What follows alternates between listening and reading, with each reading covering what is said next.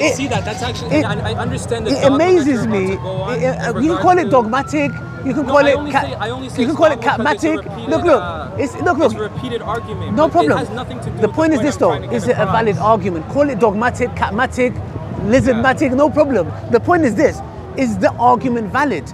You, what you're doing here ahead. is we're saying there's Jesus, Adam, Prophet Muhammad, Moses, Abraham, and many other prophets. They all do not have the innate abilities to do miracles.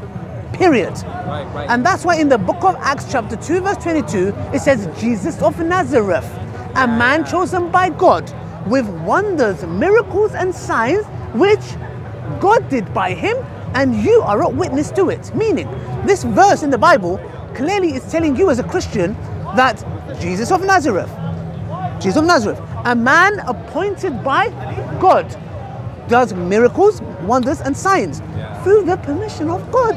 I don't know how So much I'll- I'll more, just- I'll just- how much more it can be clear, Mark. So please tell me, And I will speak on that. thing you please speak on it and tell me why does Jesus, please, Right, what does Jesus innately have that other prophets who did miracles with the permission of God has? Please tell me something about Jesus, peace be upon him, which we believe and we honor him. But I'm trying to say, Yeah. please tell me something he innately has that the other prophets did not have. Right. So I'll speak. I'll speak. Uh, so obviously, moving on from our point previous about Jesus in the image and likeness of God, I do think that the permission aspect that you're bringing up is a completely separate point. But I will move on from that and speak to what you're saying now. In regards to you're saying, I do not witness. You said this specifically. I do not witness God when I look at Jesus. I want to give you an example. If you were to have a son and that son acts in accordance to your image and your likeness. When somebody sees that child, they say, like father, like son. Okay. When they see the son, Yes. they have a perception No problem. of the father. Okay. So when I witness Jesus Christ, even though I witness him, it is not to say that I do not have a perception of his heavenly father. As I witness the son, I see the father, like father, like son. What is it specifically that I am witnessing?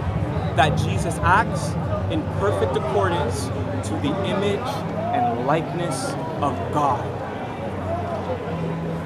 And I think I'll uh, leave it there Just before you go, just one last point. because I do feel the Holy Spirit allowed me to make that point. I mean, I think you made that point. Uh, d- uh, I'll make it very That, simple. that, that was only for God to judge. No, that's fine. That's fine. I'll make But I one. uh, appreciate your time, That's fine. Thank you very much, Marcus. I really appreciate it. Just one point that I'll leave you with, um, just so you understand that why your point is.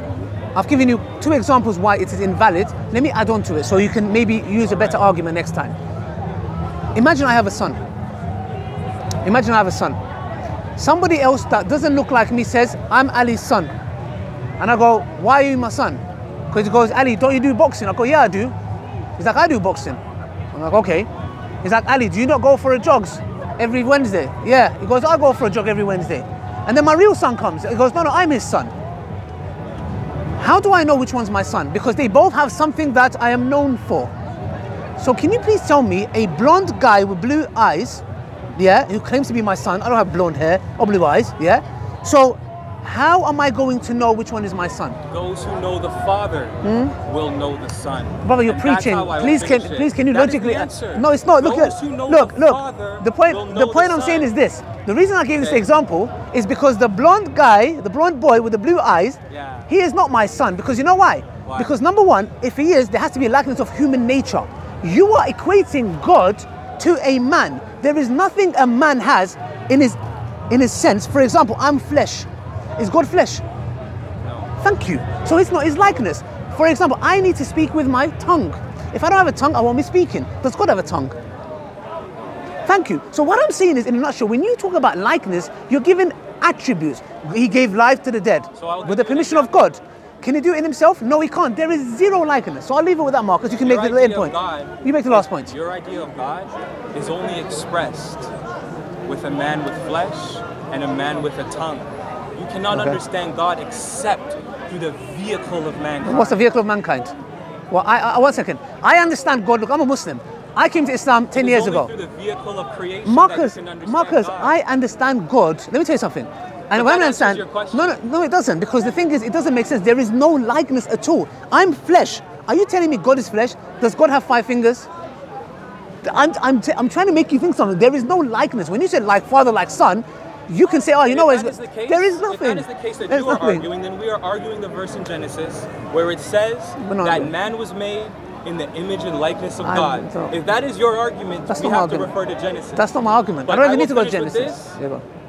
Man was made Hmm. in the image and likeness of God, and Jesus is God's only begotten Son. Look, but thank I'll, you. I'll finish No, that's fine. that. Thank you, Marcus. Thank you. Can we Thank chat- my- But you know what? Thank you. Yeah. It was very pleasant speaking Thank you very much. It was a pleasure. Thank you very much. Um, and thank you for the platform. Thank you. It's a I pleasure. Have you read the Quran before? I have, cover to cover. Okay, good. How, how did you find it? God is all merciful, and we can go with that. Amen. Thank you. Thank you very much. I think in a nutshell, brothers and sisters, Marcus was a very nice gentleman. We had a nice discussion.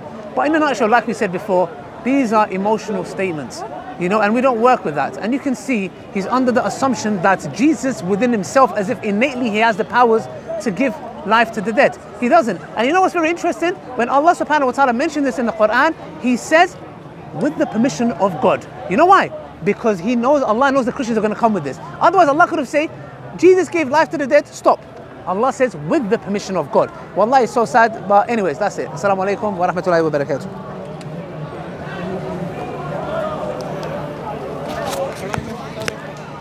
I'll this on. Can I have a photo with you?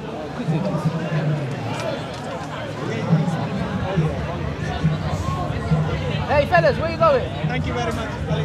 You wanna-